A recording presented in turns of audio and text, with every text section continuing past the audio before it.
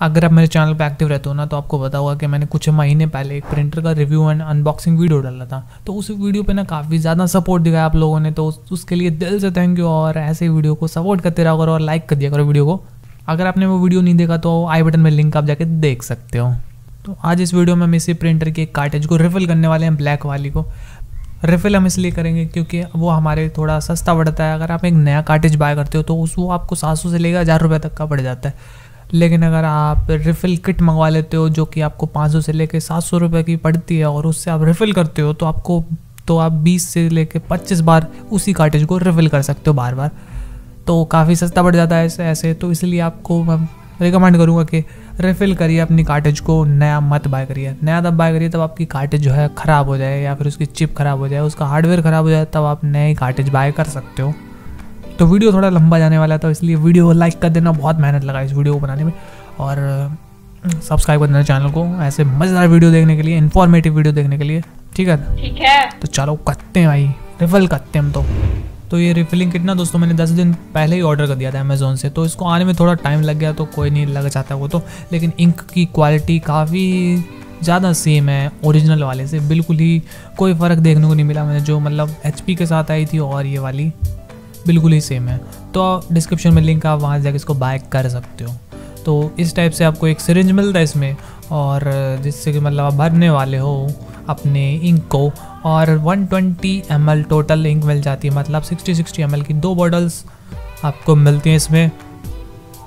और ये रही इसकी सुई जो कि हाथ में लग सकती है अगर आप नहीं लगेगी। हाथ में नहीं लगती गाइस बिकॉज़ आगे से राउंड है। काफ़ी बेहतरीन बनाया गया और सील वील ना हो तो आप देख लेना। नहीं होता। रिफ़िल करोगे ना तो आपको काफ़ी सस्ता पड़ता है, इसलिए हम रिफ़िल करेंगे यार। वैसे अगर ये एक कार्टेज बाय करोगे तो सात सौ, आठ सौ की पड़ेगी आपको, और ये कम से कम पाँच सौ की पड़ेगी मेरे को। तो देखो हमारा प्रिंटर शो कर रहा है कि ब्लैक इंक के एल लग चुकी हैं, ख़त्म हो चुकी है। और हम प्रिंट करवा के भी आपको दिखा देते हैं एक बार कि जो है इंक ख़त्म हो चुकी है। और इस प्रिंटर की सबसे बेहतरीन बात लगी ना, मैंने डेविन को प्रिंट किया तो इसने आउटर लाइंस ही प्रिंट कर दी, बस इंक को बचाने के लिए, ताकि कम यूज़ हो। इंक काफ़ी सही। और सॉफ्टवेयर में भी देखो शो कर रहा है कि ब्लैक इंक ख़त्म होने वाली है, बिल्कुल ही ख़त्म हो चुकी है और और भी ख़त्म ही है, लेकिन हम ब्लैक ही करेंगे तो इसकी कार्टेज को सबसे पहले हम निकाल लेते हैं। फ्रंट डोर ओपन करेंगे और आपका प्रिंटर अगर ऑन है तो ऑटोमेटिक ही ये सामने आ जाएँगी आपकी कार्टेज और नीचे की साइड मेंशन किया गया है कि कौन सी ब्लैक वाली है और कौन सी कलर्ड वाली है। तो हम आपको ब्लैक निकालनी है ये और ऊपर से आपको खींचना है, ऊपर से इस टाइप से आपको कुछ कार्टेज को खींच लेना बाहर की तरफ़। तो ये निकल आएगी, थोड़ा सा टेढ़ा करोगे तभी आ जाएगी। तो हमारी कार्टेज आ चुकी है बाहर और हम अपनी टेबल पे सामग्री इकट्ठी कर लेते हैं कुछ। तो सबसे पहले हम चार्ट पेपर एक बिछा लेंगे, ताकि हमारी इंक टेबल ख़राब ना कर दें। ठीक है? आप कुछ भी बिछा सकते हो, कपड़ा या फिर न्यूज़पेपर बिछा लो, कुछ भी। मैंने चार्ट पेपर ही बनाया और इस पर हम अपना सारा सामान रख लेंगे, और यहाँ पर देख सकते हो, ये हमारी cartridge six eight two cartridge है, और इस पूरे प्रोसेस में अगर आपको यहाँ पर और इसके जो कंडक्टिंग पार्ट है, वहाँ पर हाथ नहीं लगाना है। यहाँ पर भी हाथ नहीं लगाना, जिससे कि आपकी जो इंक की कार्टेज है ना, वो डैमेज होने से बची रहेगी। अगर आप हाथ लगाओगे तो डैमेज होने के चांसेस बढ़ सकेंगे और हो सकता है ये डिटेक्ट ना करे, फिर बाद में प्रिंटर में तो आपके क्या लग जाएँगे। तो इसका वेट देख लेते हैं। वेट देखो 24.7 ग्राम्स है कुछ। और फिर बाद में भी हम वेट देखेंगे, तब इंक रिफिल हो जाएगी।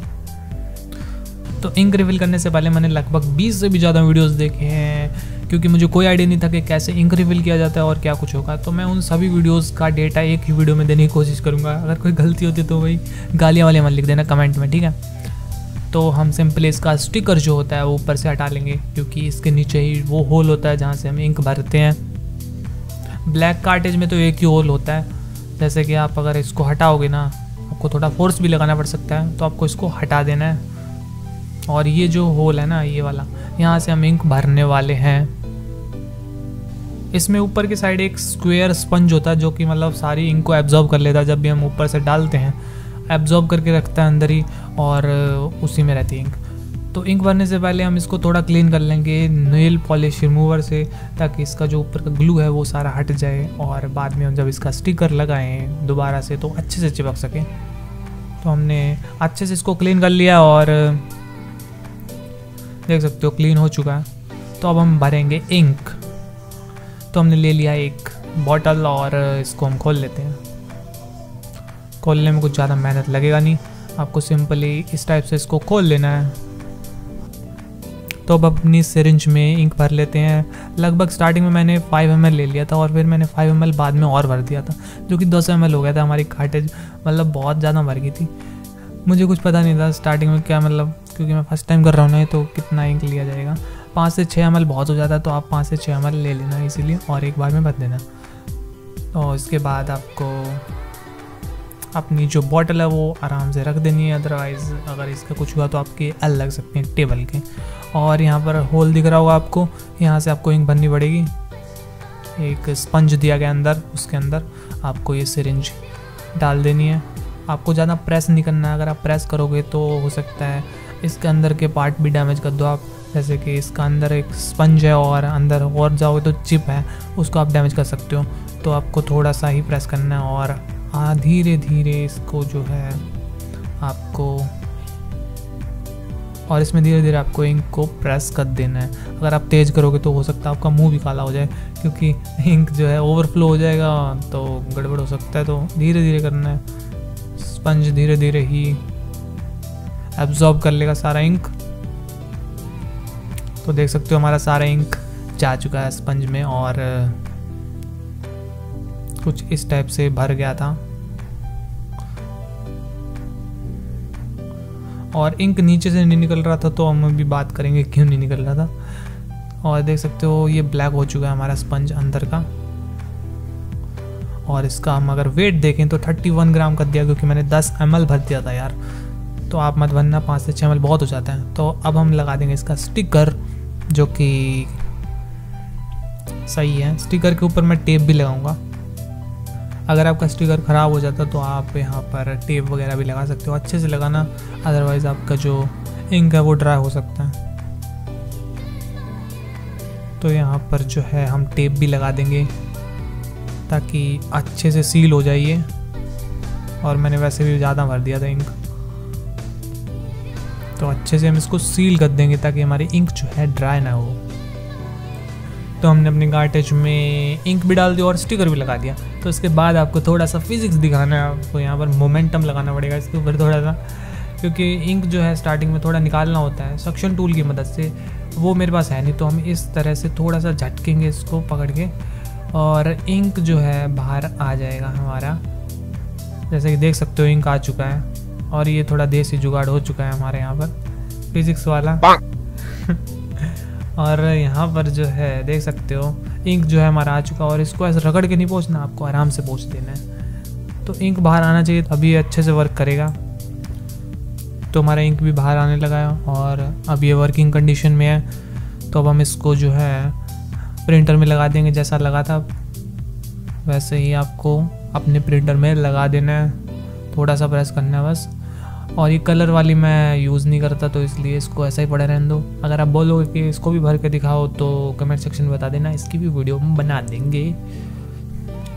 तो हमने अपनी इंक कार्टेज रिफ़िल भी कर लिया लेकिन इंडिकेटर शो कर रहा है कि आपकी जो कार्टेज है वो खाली है और सॉफ्टवेयर में भी शो कर रहा है कि आपकी कार्टेज खाली है, लेकिन मेरे प्रिंट्स जो हैं बिल्कुल ही सही निकल रहे हैं। कोई प्रॉब्लम ही नहीं है। ये तो ये स्टेप उन लोगों के लिए जिनके प्रिंटर में प्रॉब्लम है और प्रिंट सही नहीं निकल रही है और कुछ प्रॉब्लम है तो बेसिकली हम इन स्टेप में अपने प्रिंटर को रीसेट करने वाले हैं। देख सकते हो मेरे प्रिंट्स बहुत सही निकल रहे हैं। अगर आपके भी प्रिंट सही निकल रहे हैं तो स्टेप को करने की कोई ज़रूरत नहीं है। आपको पंगे में बिल्कुल नहीं पड़ना चाहिए। प्रिंट सही निकलने चाहिए आपके पास। प्रिंट सही निकल रहे हैं मेरे। तो हम बेसिकली करेंगे क्योंकि मुझे करना था इंडिकेटर ठीक करना था मुझे तो रिसेट करेंगे। फ़र्स्ट आपको पावर बटन होल्ड करना है power button then cancel button hold कर रखना है कम से कम पाँच से छः सेकेंड उसके बाद आपको कैंसिल बटन छोड़ना है, फिर पावर बटन छोड़ना है। इसके बाद आपको जो है पीसी में एक मैसेज शो करेगा इस टाइप का, आपको यस कर देना है। और ये पूछ रहा था कि आपके जो कार्टेज लगाई है वो नई है ना, पक्का नहीं है ना? तो इसको हम बता देंगे नहीं है भाई। बिल्कुल नहीं है। और ओके करना है यहाँ पे। और यहाँ पे अलाइन करना है। अलाइन करेगा प्रिंट हेड और यहाँ पर ए बी सी ब्लैक वाला क्लीन क्लीन प्रिंट हेड पे आपको क्लिक करना है। क्लीन प्रिंट हेड तो क्लीनिंग स्टार्ट हो जाएगी। इसमें आपको टाइम भी लग सकता है। और इसमें आपकी जो है, दो पेजेस ये प्रिंट भी करेगा। तो पेज डाल देना। अगर आप करवाना चाहते हो। तो हमारा जो क्लीनिंग है, वो कंप्लीट हो चुका है और यहाँ पर शो हो रहा है कि सेकंड लेवल क्लीनिंग आप करना चाहते हो तो सेकंड लेवल क्लीनिंग आप तभी करोगे अगर आपकी कोई दिक्कत आ रही हो। प्रिंट सही नहीं निकल रही हो या फिर कुछ भी दिक्कत आ रही हो तो सेकंड लेवल क्लीनिंग आप कर सकते हो। वैसे मैं नहीं करूँगा क्योंकि मेरे यार फ़र्स्ट लेवल क्लीनिंग भी नहीं करनी थी मेरे को तो बस मैंने कर ही दी भाई। इंडिकेटर ठीक करने के लिए तो इस पर हम डन पे क्लिक करेंगे क्योंकि मेरे को सेकंड लेवल क्लीनिंग नहीं करनी है। उसमें और प्रिंट निकालेगा भाई इंक वेस्ट होगी आपकी ऐसे बहुत ज़्यादा। और बुम हमारी जो इंडिकेटर है, वो ठीक हो चुका है, देख सकते हो। अब शो नहीं कर रहा कि आपकी इंक खाली है। लेकिन सॉफ्टवेयर में अगर आप देखोगे तो वहाँ पर तो पूरी खाली दिखा रहा है। लेकिन मेरे प्रिंट्स जो हैं, वो काफ़ी सही निकल रहे हैं। मुझे कुछ भी दिक्कत नहीं हो रही है प्रिंट्स निकालने में तो मैं इसको ऐसे ही छोड़ दूँगा और हमारे प्रिंट्स तो निकल ही रहे हैं। क्यों भाई भाई, दिमाग ख़राब करो। अगर आप फिर भी चाहते हो कि मैं इसको रिपेयर करके दिखाऊँ तो कमेंट सेक्शन में बताना भाई। देखेंगे भाई कुछ रिसर्च वगैरह करके कि कैसे ठीक होगा। और देख सकते हो प्रिंट्स जो है, काफ़ी सही निकल रहे हैं। पहले कैसा निकल रहा था और अब देख लो, कितना डार्क निकल रहा है। और हमारा इंडिकेटर भी ठीक हो चुका है, जैसे कि देख सकते हो, पहले शो कर रहा था कि आपकी कार्टेज खाली है और अब नहीं कर रहा। तो तो गाइज़ इस वीडियो में इतना ही और मिलते हैं कौन नई वीडियो में। अगर वीडियो पसंद आया हो तो लाइक कर देना चैनल को सब्सक्राइब कर देना। ठीक है? ठीक है।